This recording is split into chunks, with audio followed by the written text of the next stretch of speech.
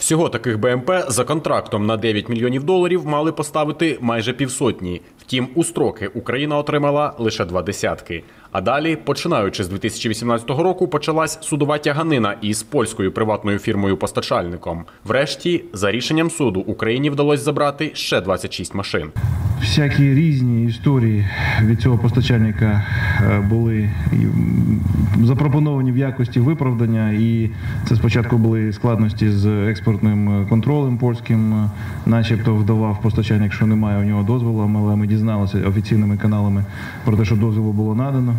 Потім почався ковід. Вони е, були ну навряд чи можна було сказати, що це задовільний є стан технічний, тому що вони в першу чергу були закомплектовані, були подекуди відсутні документи, але ми розуміли, що у нас зараз є можливість, і ми забрали їх в такому вигляді. На заводі ці БМП відремонтували та привели до бойового стану. Фахівці заводу відремонтували ходову частину бойових машин, доукомплектували їх та встановили кілька нових приладів.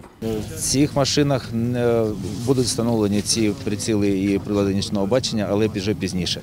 Е, Згідно контракту, який у нас був укладений в 2017 році, ми їх передаємо, передаємо з невеликою доробкою. Ми встановлюємо на, на них систему так звана туча, це димовий захист, і е, приціли і електронні, е, електронне обладнання буде встановлюватися на них пізніше, вже після е, того, як ми передамо Міністерству оборони ці машини.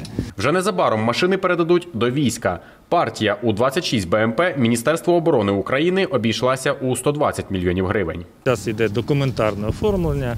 Потім Міністерство оборони військові частини прийшли військові частини з трейлером, вони заберуть і далі, куди вони розподілять, це вже інформація буде в них. Загальна сума е, цієї партії це близько 120 мільйонів 26 одиниць, те, що згідно контракту буде передаватися до Міністерства оборони. Е, Це я можу сказати. Це вартість е, готових згідно контракту. Дмитро Поліщук, Олександр Данилюк. Новини на Суспільному.